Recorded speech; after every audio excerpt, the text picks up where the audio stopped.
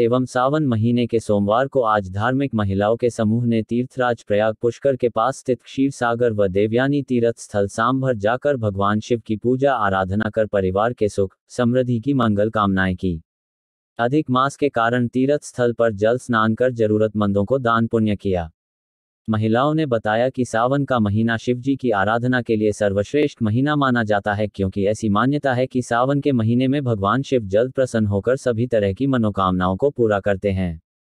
श्रावण के महीने में तो हर दिन शिव जी और माता पार्वती की पूजा होती है, लेकिन सावन सोमवार का व्रत बहुत ही खास रहता है।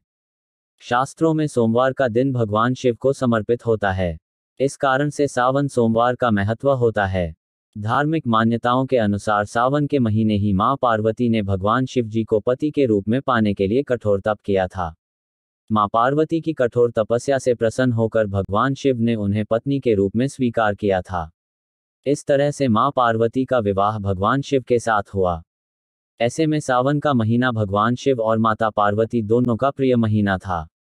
इस कारण से सावन के महीने में पड़ने वाले हर सोमवार का काफ़ी महत्व होता है।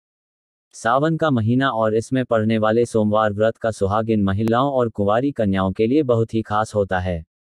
सावन सोमवार के दिन विवाहित महिलाएँ दिन भर व्रत रखते हुए शिवजी और माता पार्वती की पूजा अर्चना करते हुए पति की लंबी आयु और सुख समृद्धि की कामना करती हैं।